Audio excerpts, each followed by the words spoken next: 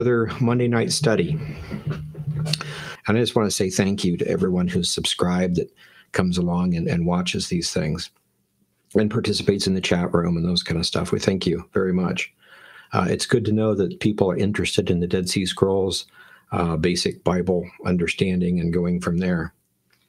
Um, let's see here. So we should be the new instance, and tell me if it glitches or not on the if, if you're if you're watching from the um, website itself. Tell me if it glitches or freezes or whatever. I had a problem with that this morning, but I realized that I was not on a direct connection. I was on Wi-Fi, so hopefully that's taken care of. So we should be on the BibleFacts.org website, YouTube, Subsplat, the Subsplash app, uh, Facebook, and Twitch. So we'll see what happens from there. So last week, what we did is we talked about the uh, curse stone found in Joshua's uh, uh, Joshua's altar, and how that proved that we had uh, the Exodus from Egypt, which would have been somewhere in the neighborhood of 1500 BC, not 1200 BC, like has been thought of recently. And so, just the fact that the the dating, multiple dating methods all point to that is just really cool. Uh, so we have pieces of that. There's more to be translated, and the fact that uh, Exodus cha- or uh, Joshua chapter eight mentions that Joshua himself wrote, so it'd be with his own hand, uh, on the plaster around the altar in the presence of the sons of Israel. And so, what's neat about this is a lot of plaster was found around the altar, but it's so old it's it's uh, impossible to read. And so they took it, put it in a safe space because there's no way to try to read it. Now they're going to try to use the same technology that let us look at the curse tablet on the inside and, and, actually got some stuff out of it. So it is a possibility that this fall or sometime next year, we could actually have photos of the law of Moses as written by Joshua himself. So a photo of a 3,500 year code of conduct when the children of Israel crossed the Jordan. That's just fantastic for that kind of thing to happen. So, when we were talking about that, I had mentioned that there were other Egyptian documents that mentions the um, um, Exodus from Egypt, but they're thought of as inventions of Christianity, things like that. And the problem is, if you go somewhere and you have a history of the people going all the way back to the original time, and their history shows that we came there was a guy in a boat with his wife his three sons and three daughters-in-law and a bunch of animals and somehow they survived a great flood and that's where we came from. And here's the genealogy. What secular scientists or secular historians i mean are going to say is it's been garbled by christians because we don't believe that ever happened. So since that's the real history the only history that is mentioned by them. They're going to simply say that there's a time called prehistory when nobody knows what happened. And they do this kind of stuff all the time. The, the whole idea that you have a written document telling you something and they're guessing something else. So, for instance, if you come into my home for some reason and look around and I'm not here, but somebody else is here, you can assume they live here and I don't uh, you could just simply go look at who legally owns the house. It's public record if you believe in written records and history. Or you could just assume, you know, instead of me being gone at a conference or something, that, you know, I don't own the house. So it's that kind of thing that's going on. Anyway, I mentioned this, and a couple of people right toward the end said, could we get more information about these other scrolls? Uh, what kind of stones were you talking about? What kinds of uh, things. So I thought we would do that tonight. And so, what we'd had, uh, one of the first books, or actually the first book that I'd wrote, was Ancient Post Flood History. And what I tried to do is give a real brief synopsis of a pre flood time, mainly as far as dating goes.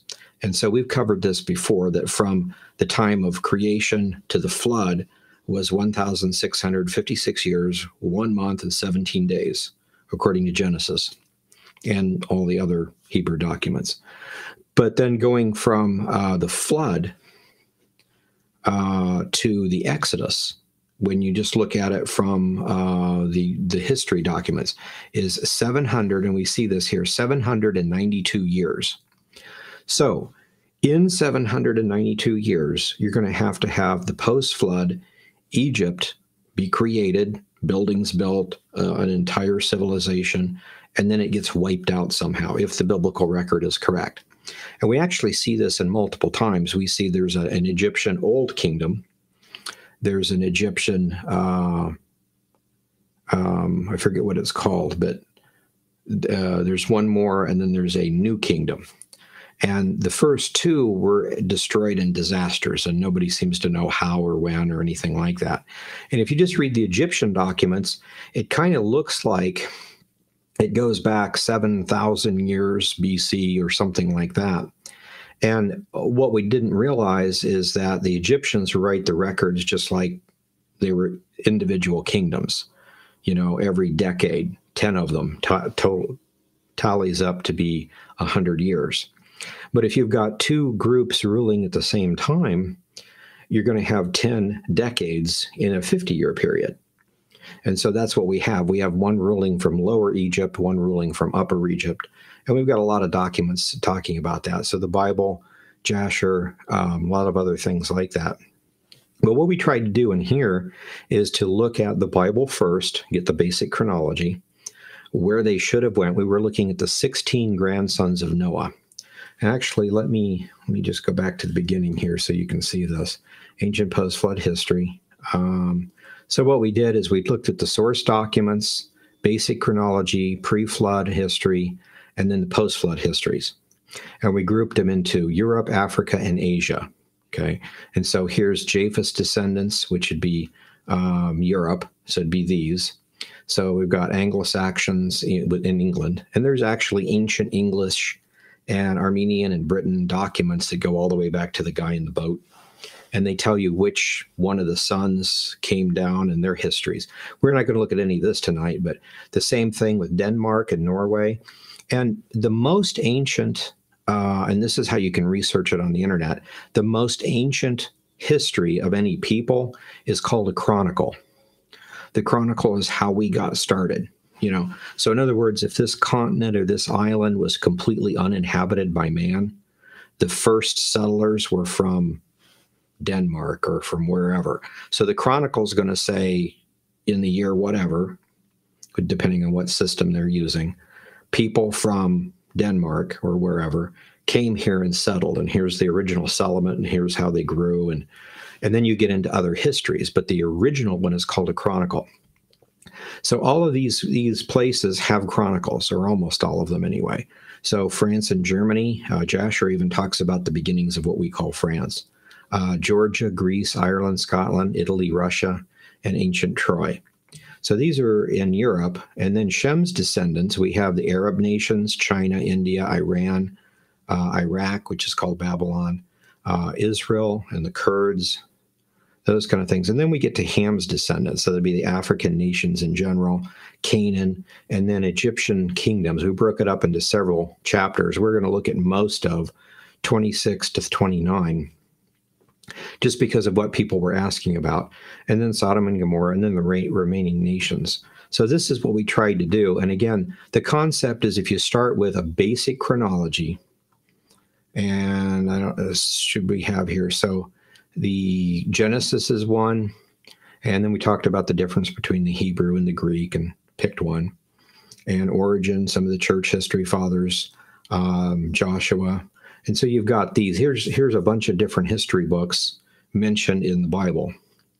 So we we look at the book of Jasher specifically, and then other for, forgeries, the Seder Olam for chronology, and then other works. And so we've got Josephus, Dead Sea Scrolls, the Talmud, Ante-Nicene Fathers, and things like that. So we're just trying to find the 16 grandsons of Noah, where they went, and then you go to where they supposedly went and you look around for history that matches what we're being told and then look at the dates and see what you can come up with so that's basically what we're doing so let me go back here we want to start with uh, egypt's old kingdom so All right, so let's look at this and and just look at some of these things. So basically, so here's our chart, and previous chapters have described this and tell you how we get some of these things, and I'll fill in some of the gaps. But if the flood was in 1656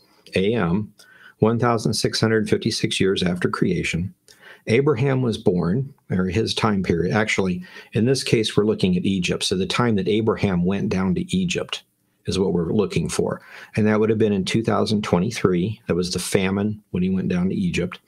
And then there was a time when Joseph was ruler in Egypt. He was sold into slavery. He became the second commander, so to speak, or the, the little pharaoh of the entire country. So that should be in a record somewhere. And that would have been 2228, 228 years later. Okay.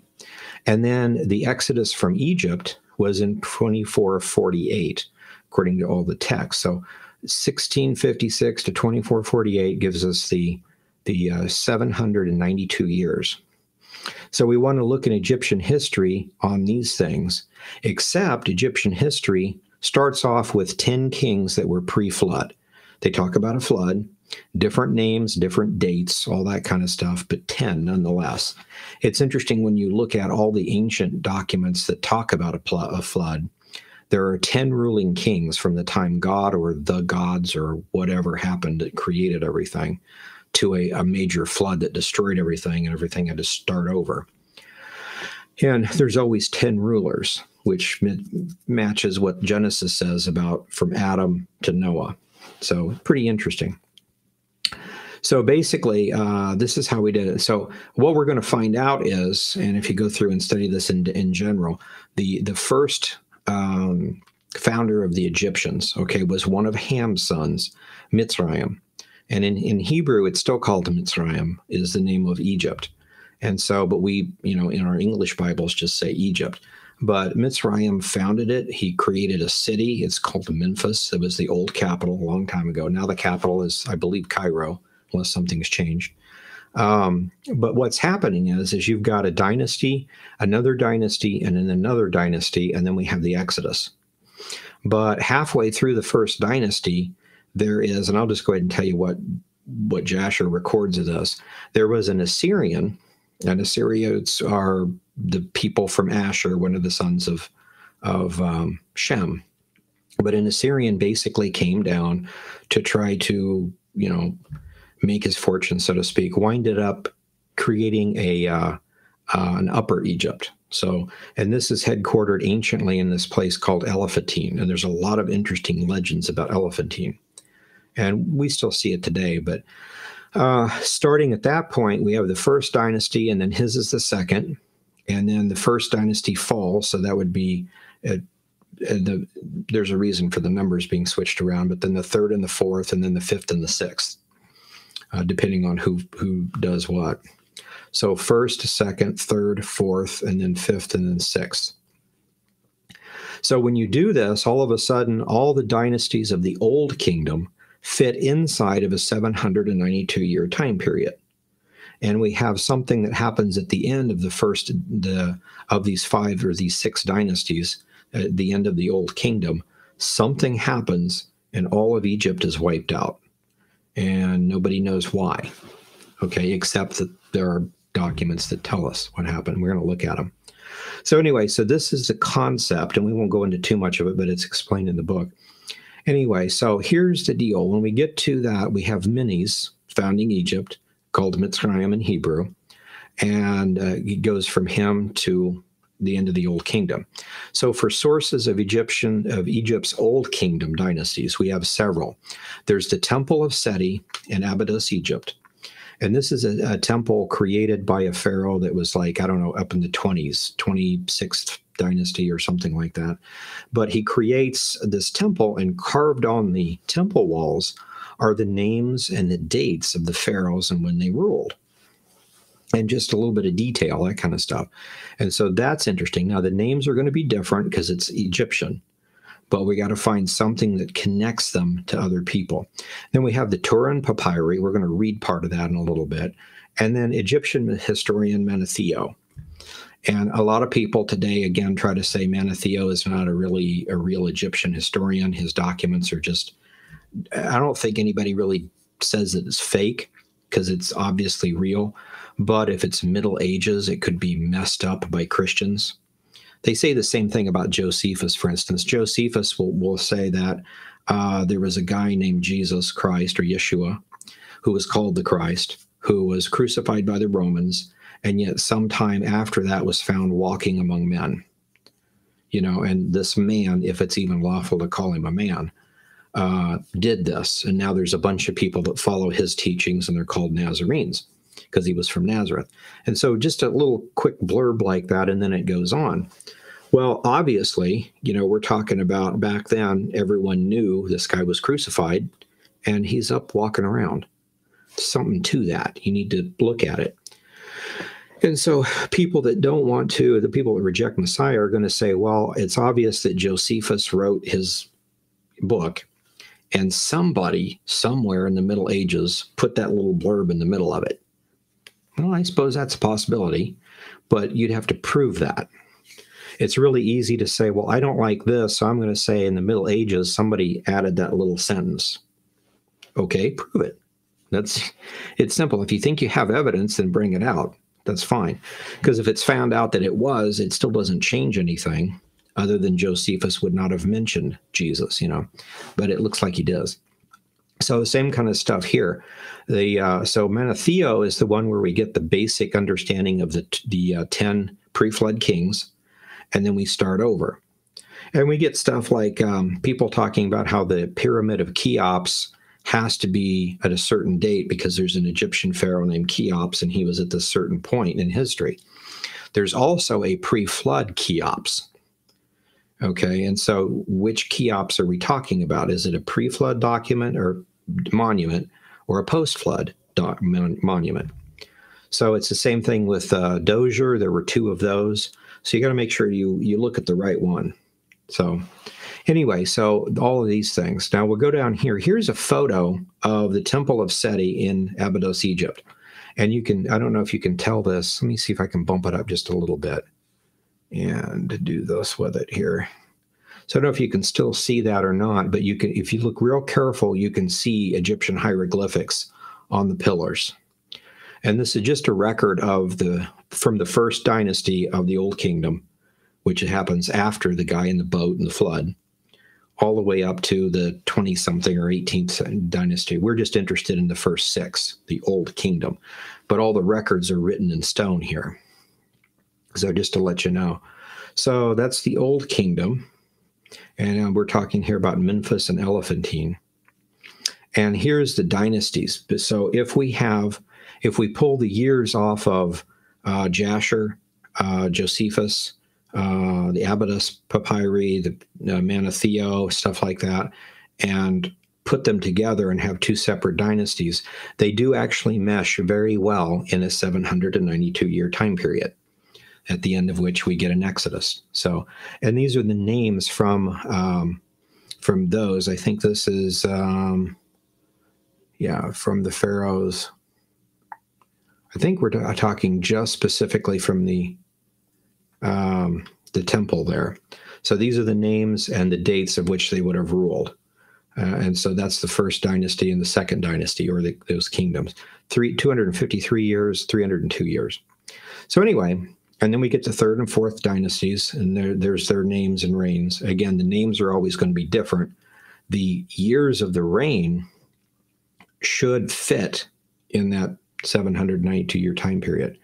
So um, the fifth and sixth dynasties, uh, we come up to um, the the last one. So Pepi II is the central figure we want to look at. Pepi II is not the pharaoh of the Exodus, if he is the one that's at the end of the Old Kingdom, but he's the father of the pharaoh who's the last pharaoh of the Exodus. So Pepi II is the one mentioned in in Scripture about he rose up, didn't know uh, Joseph or his brother and, and sought the persecution. And Pepi II, we have some interesting information about him. But basically, uh, his son took the empire, and on these documents, it's called Neferkare the Younger, and that was the one that was destroyed by Moses. And we have some interesting documents to tell us details, but that's basically what happens. People have also asked, uh, what about um, the since in the Exodus, the firstborn son of everybody died. And the firstborn son is supposed to be the one who takes the throne, the firstborn son of the king. So why didn't the Pharaoh of the Exodus die when the firstborns died? Well, he wasn't the firstborn. And what we find out is that Pepi, for whatever reason, had, uh, I think, two or three sons. And in some way or another, they were all messed up. And so it was thought that maybe it was some sort of weird venereal disease, is what some of the scientists are saying that caused problems. The firstborn son is classified as an idiot. I mean, there was something really wrong, and he was nowhere able to govern a nation. So just out totally out of the question. The second son was very brilliant, able to govern the nation, but as we'll see in a minute, he had a very weird deformity. So anyway, and then, of course, he has children, and it talks about the firstborn son of the current Pharaoh dying in the plague. And that's actually recorded in here too. And then, of course, we have the destruction. So, anyway, so here's the fifth and the sixth dynasties, the names and the dates they ruled according to that. So it's interesting here, the very last one here, this is the, the Pharaoh that should have ruled, and he never did because he died in infancy. Pretty interesting. So here, based on Manetho's records, as corrected by Jasher, so we're using those, the following chart gives a total number of time with parenthesis in, uh, of those. So here's Memphis and Elephantine, the first, fourth, and sixth dynasties, 253, 274, and 120, 172 rather, and then these, and it adds up. So it's got to fit inside a 792 year time period so this gives us Memphis, which would be the first one, close to 80 years or so after the flood is when Memphis would have been founded and the Egyptian dynasty comes to life with a king, so the nation of Egypt. And Elephantine lasts 600 and some years, so you can say about 100 or so years into that dynasty is when the second one was created. So really interesting records in that. So let's go ahead and look at this. So uh, first, let me just give you the, the history of this. This is pretty interesting because uh, at first you have Menes or Mitzrayim ruling, and he's the first king of the first dynasty in the Old Kingdom, and everything's going along, and then there's there's other kings coming along. So this person who is an Assyrian who comes down to and ends up forming the very first empire at Elephantine so this uh, this one here, the second dynasty, his name is Rikayon. And the story that's told is really interesting. Uh, and this is out of Jasher, and I think Josephus mentions it also. But basically, he comes down, he tries to fit in, it doesn't work. He notices one peculiar thing about the Egyptians and for some some reason in their history or their religion or whatever they have to bury their dead in a sacred place. So he gets the bright idea. He sends for some other people he knows up in assyria. So he gets a band of people to come down uh, armed okay and so they're armed with um, i think it was copper and they didn't have copper yet in egypt or something like that or maybe they had copper and his was iron anyway had superior weapons and all they did was um, encircle, basically, the holy place and wouldn't allow anyone to bury their dead until they first paid to do it, paid a tax. And so this made him a very, very rich man. And once a year, the king would hear the plight of the people, and this would have been a problem, except before that time came, he made a uh, entrance to Pharaoh gave Pharaoh a lot of money, the stuff that he collected from the people, and befriended Pharaoh and was recognized as a mighty man. But the interesting thing about it and, and the story that's told is that Pharaoh, we're, we're told Pharaoh means Lord of the Dead. And we usually have the idea that that's like some weird occult thing. They, he calls up zombies or something like that. But literally, it means taxer of the dead. He was the first guy to actually make dead people pay taxes. Now, actually, their their children did for him but that you can see where that comes from. You can't bury mom and dad in the sacred place. You can't bury them anywhere. You got to bury them over there. And there's guys over there with weapons that won't let you bury them unless you give them a tax. You know, and everybody's upset about it. But that's how he got rich, started the second dynasty at Elephantine, and was accepted as a pharaoh. He was the very first pharaoh or lord of the dead or taxer of the dead. So there's a lot of interesting stories like that. Anyway, so at that point, further, then you have these two sets of dynasties ruling in Egypt at a time. So uh, here's the information we have a little bit about Mitzrayim. Genesis 10:6 mentions him as being one of the sons of Ham, founding the nation of Egypt. This would make him the first king of the first dynasty of Egypt's old kingdom. And in Egypt, it, in the language, it's usually called Menes, and in the old Egyptian records.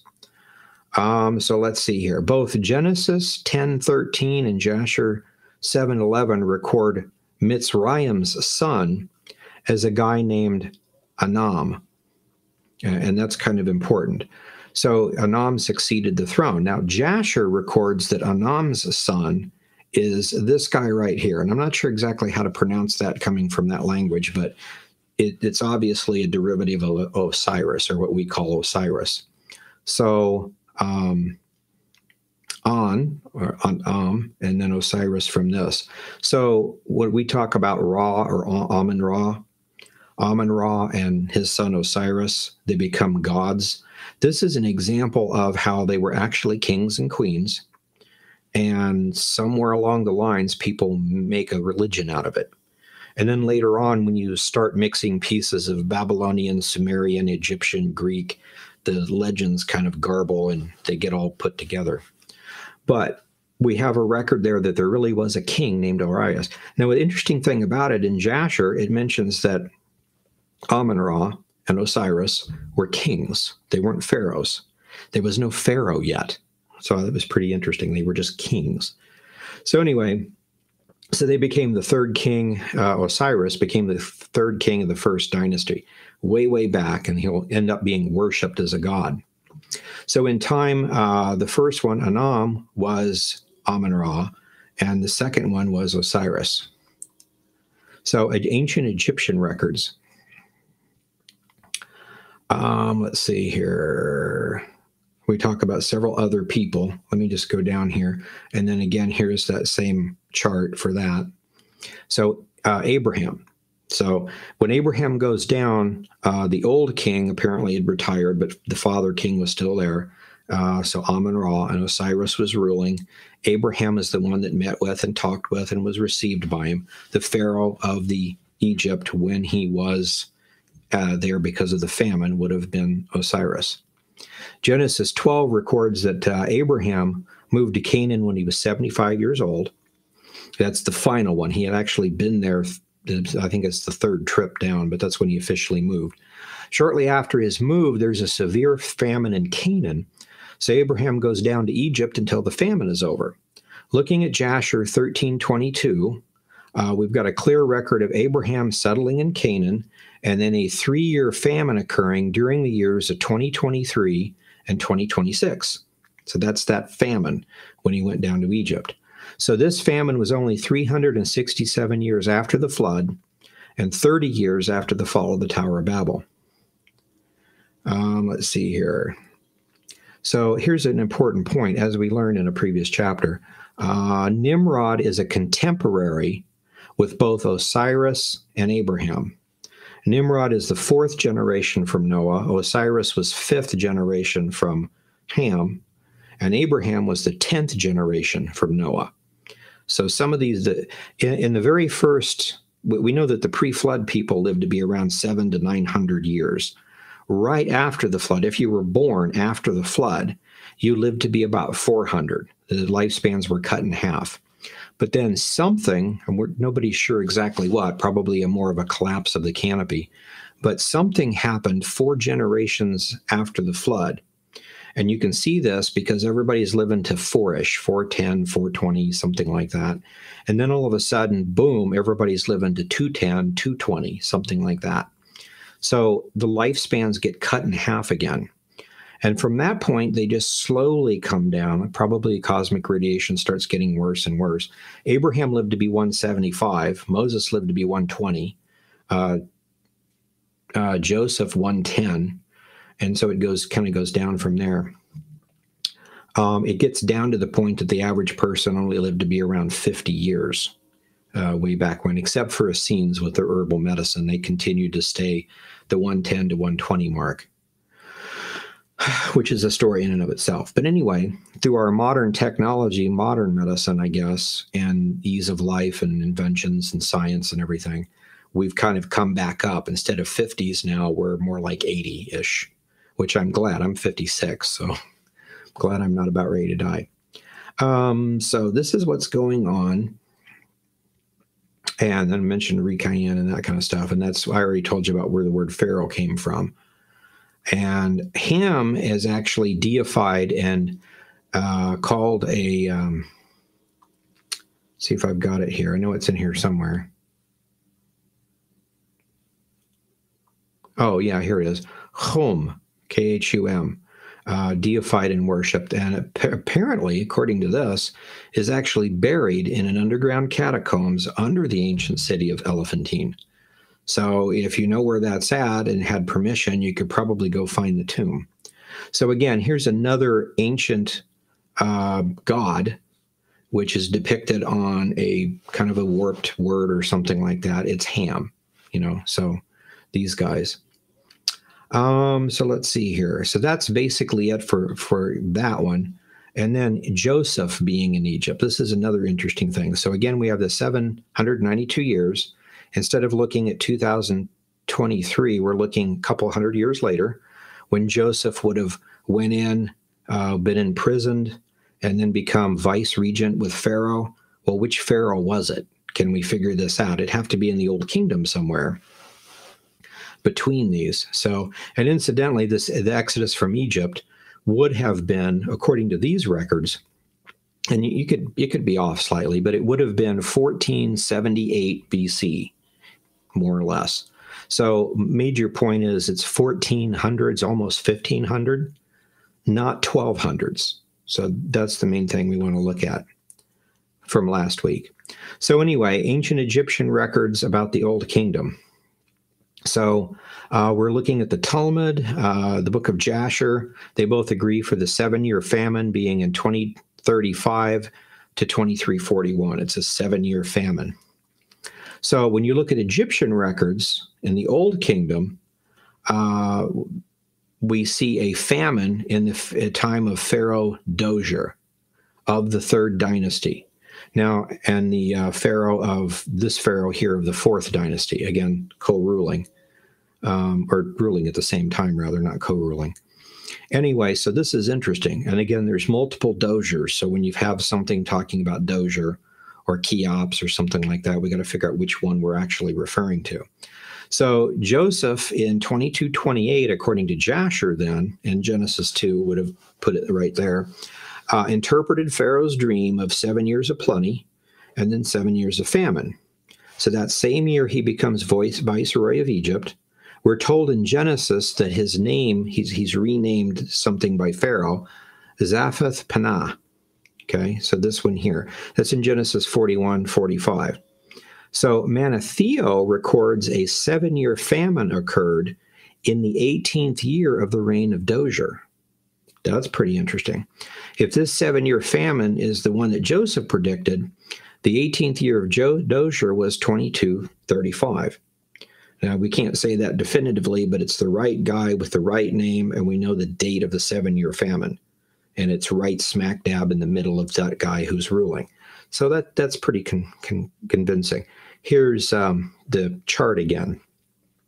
Now this is interesting. A little more information. So this viceroy of Djoser is called a um, Hebrew diviner. Predicts a seven-year famine, and you know he makes him head of the state or whatever now in according to genesis this is the name okay now what's interesting is there's another story to this viceroy of Djoser was called imhotep And you probably remember Imhotep if you've seen the movie The Mummy. Imhotep is the bad guy, the mummy, you know.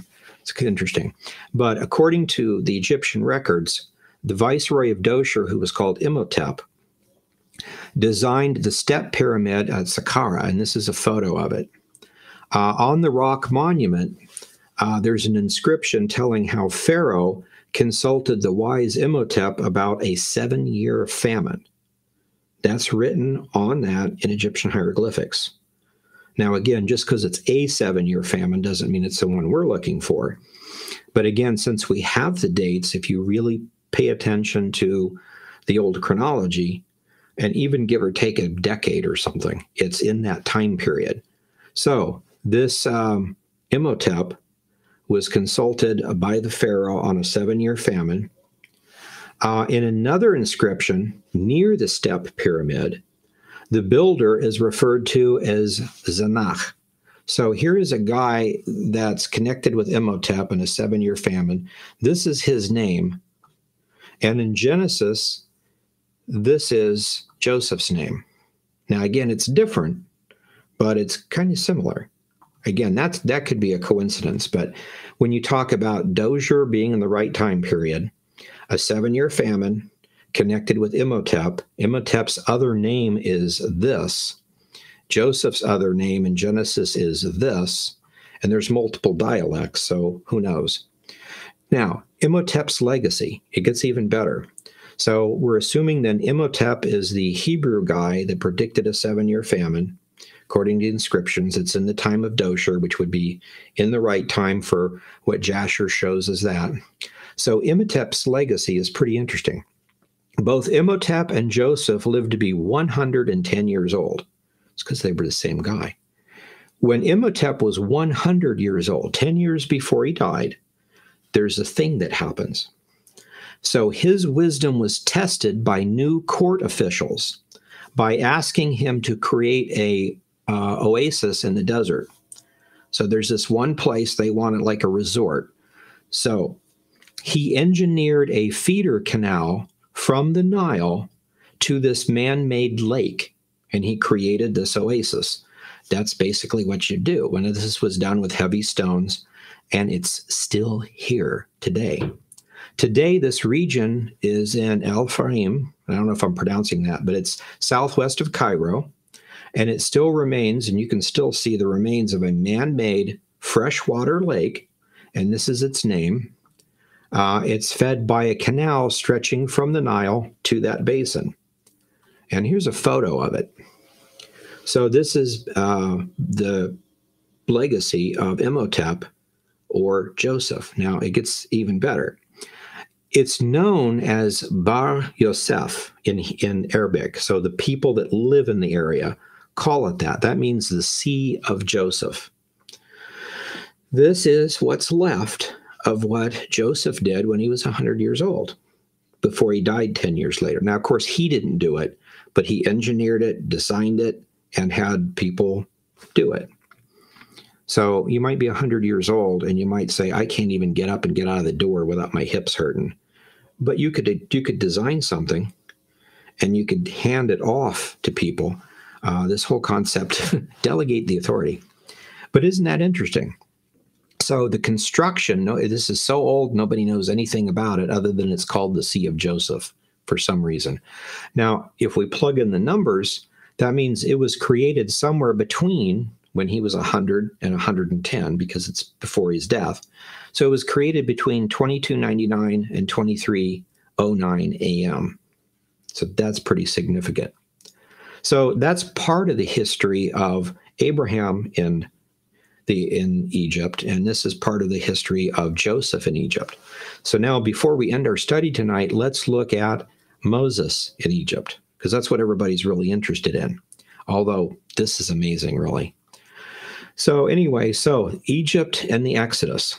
So again, 792 time years or 792 years. I need to slow down.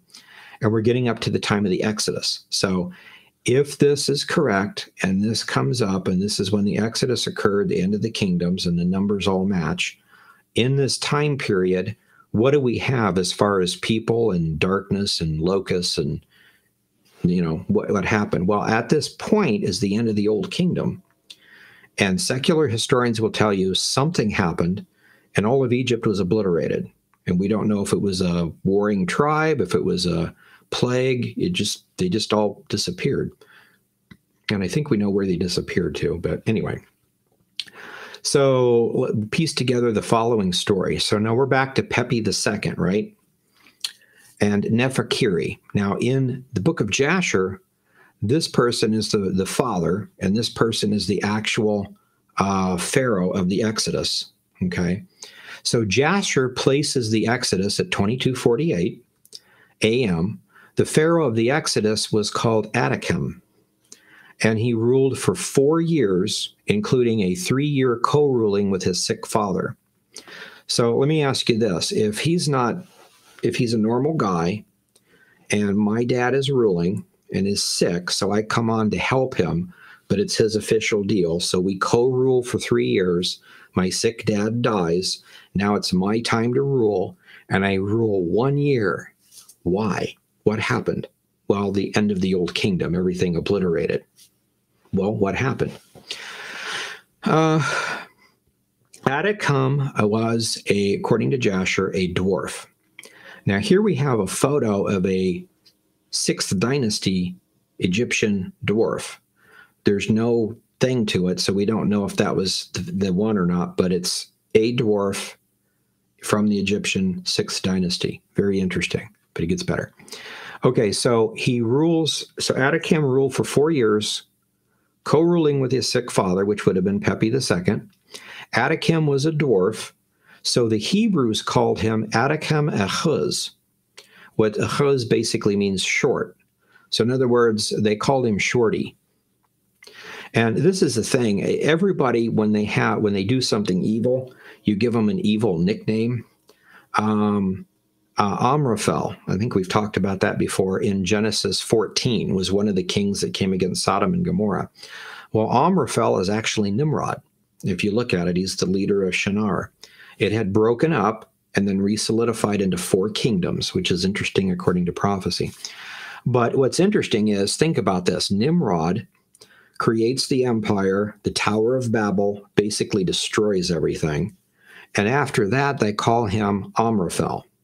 Well, what's Amraphel mean? He who causes his people to fall, or he who caused the Tower of Babel to fall, and the people were scattered. Stupid, Mr. Idiot. Now, you don't call him that to his name because he'll kill you. And you don't call a Pharaoh, hey, shorty, because he'll probably kill you.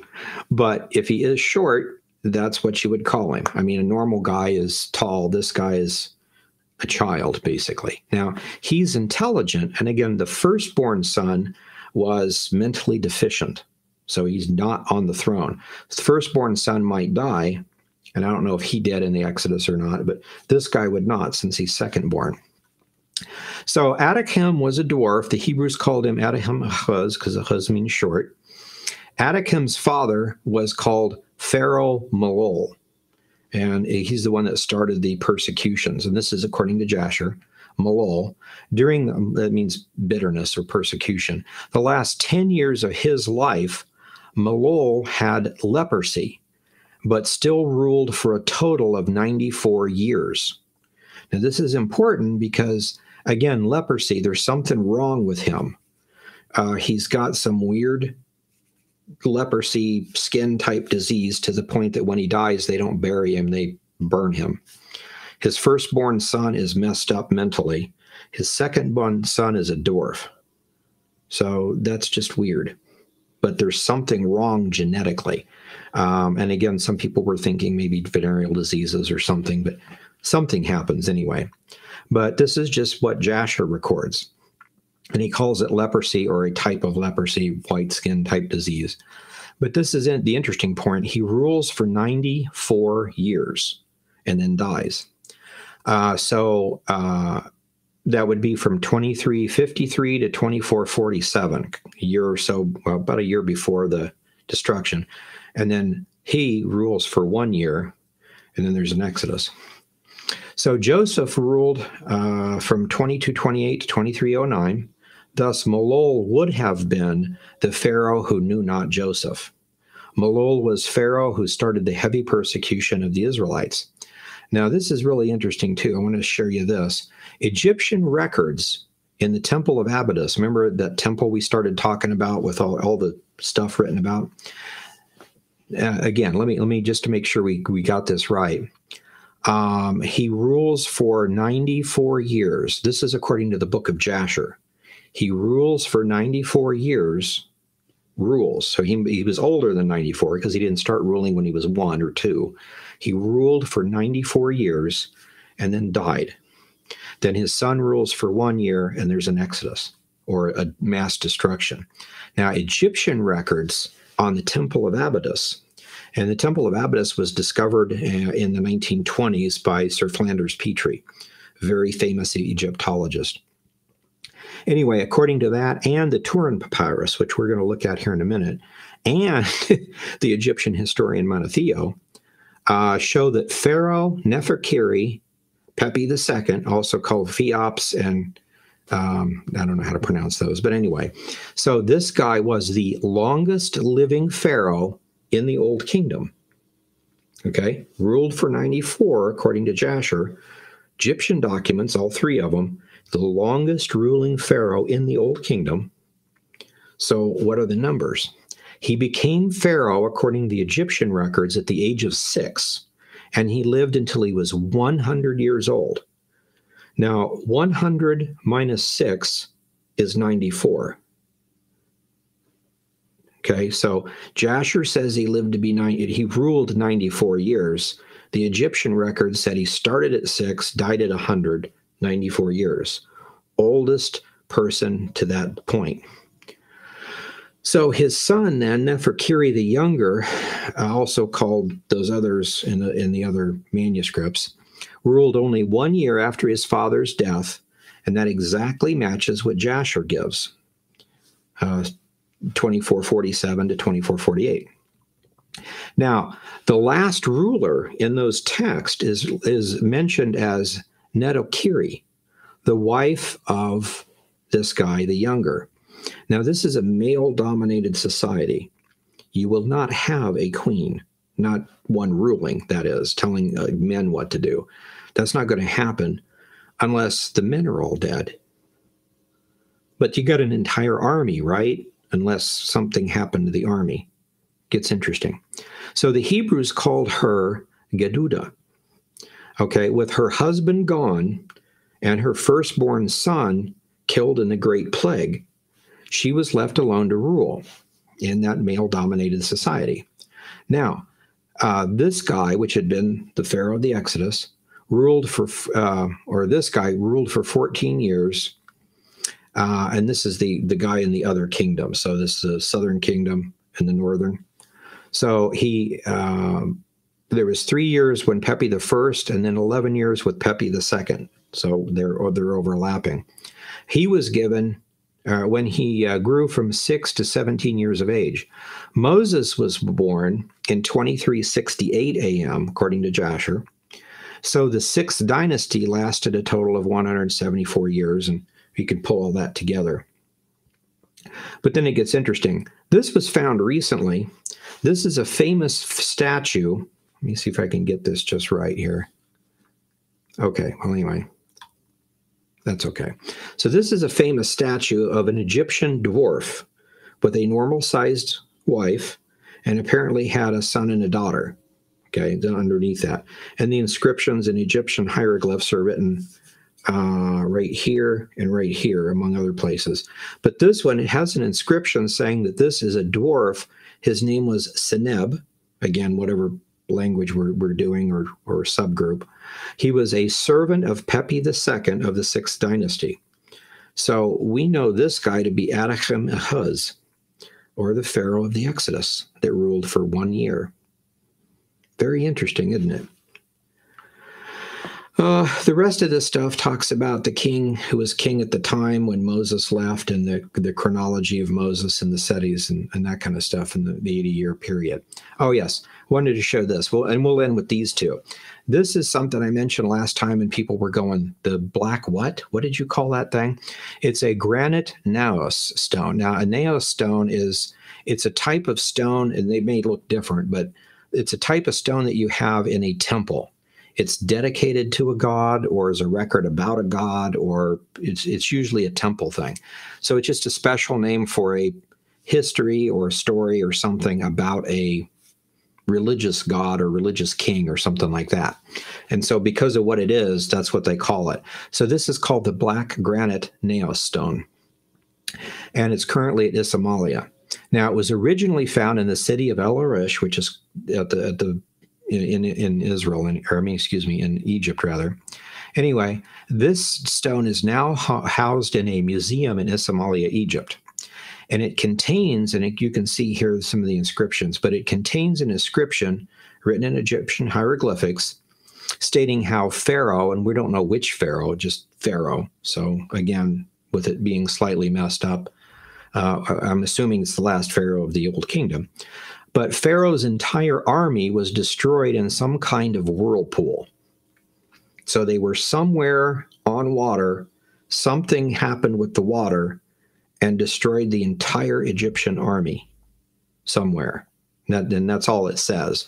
But again, we're piecing this together, little evidences. So we know the Egyptian army was destroyed when they tried to come after the children of Israel. Now, we'll end with this one. This is the Leiden papyri, or Leiden papyri. It's also called the Ipuwer papyrus, or it's also called the Admonitions of the Egyptian Sage.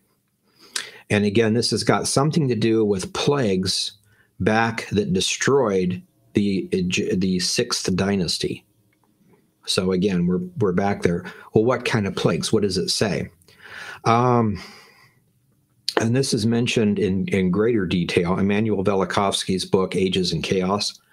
but here's just a few of the points that I did. So in a couple of places, you can see the references here. Uh, there's a there's information about water, some water, probably Nile, but water turning into blood. It says literally, plague is everywhere, blood is everywhere. And then it says, He who poured water on the ground, he has captured the strong man in misery. And the river, I'm assuming that would be Nile, that's the main river. The river is blood.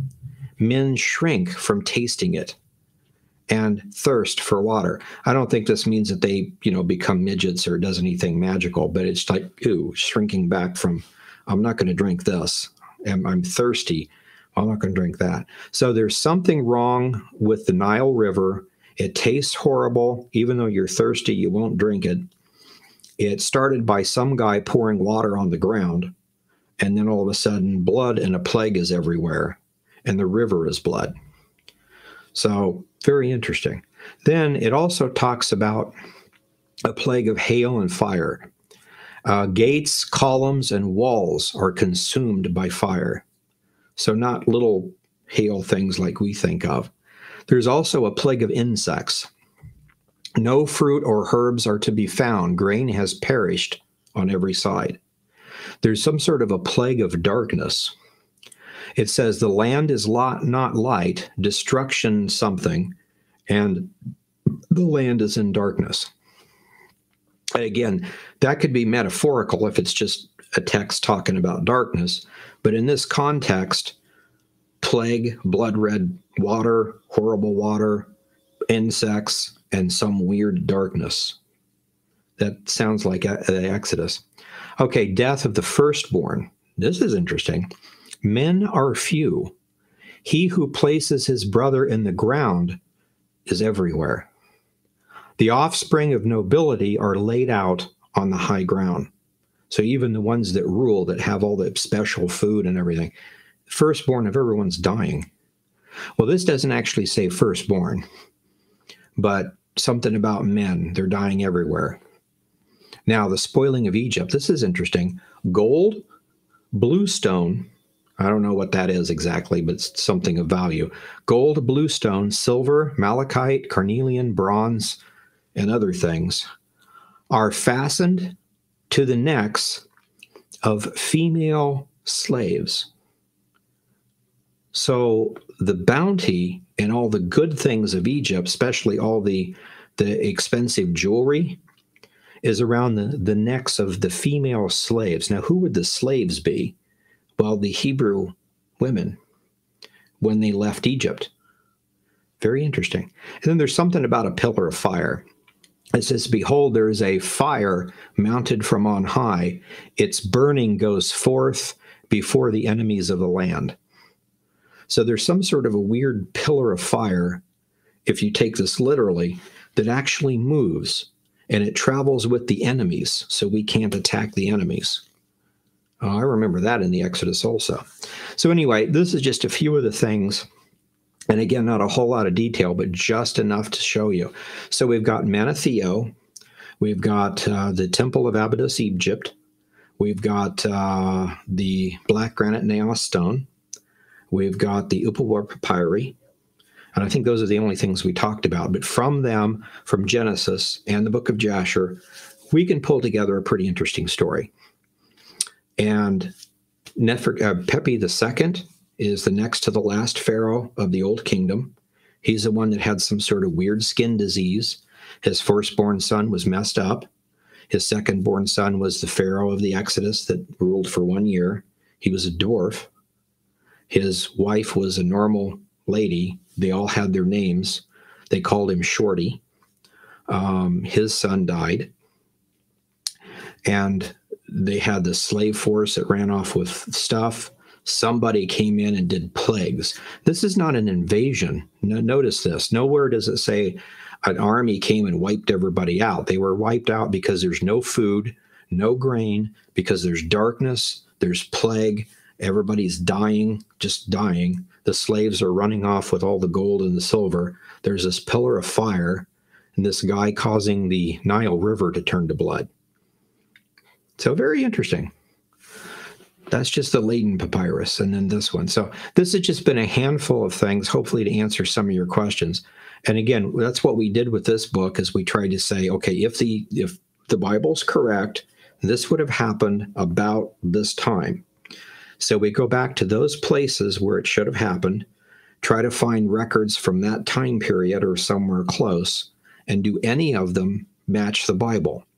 And when it does, you talk about it. And that's what we did. Again, we this has just been the stuff with Egypt, but I thought it would be interesting because Exodus from Egypt, the Passover is coming up, and what we were talking about last time.